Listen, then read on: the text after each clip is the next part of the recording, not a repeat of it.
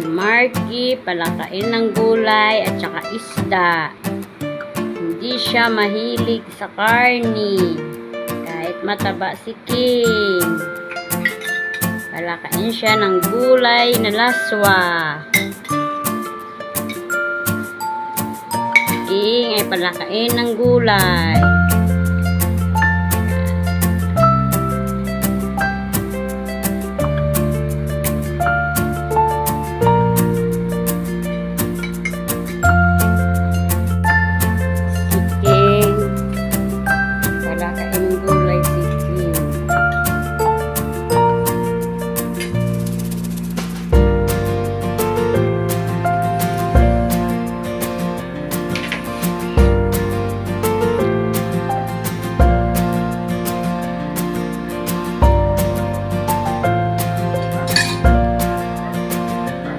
Laswa ang ulam ni Marky.